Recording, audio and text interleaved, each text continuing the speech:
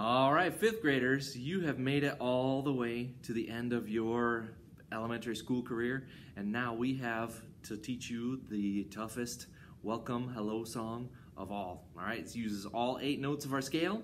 So here we go. Check out my hands, watch them very carefully, and if you need to, play this video over and over. Here we go. Hello,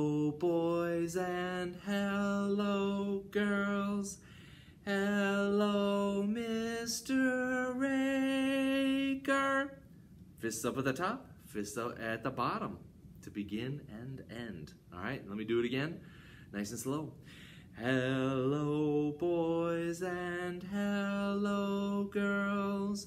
Hello, Mr. Raker. All right, so there you have it. Use all eight notes of the scale.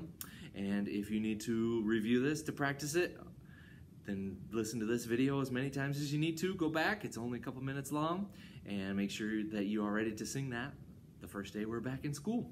All right, so we'll see you guys later. Love you. Bye.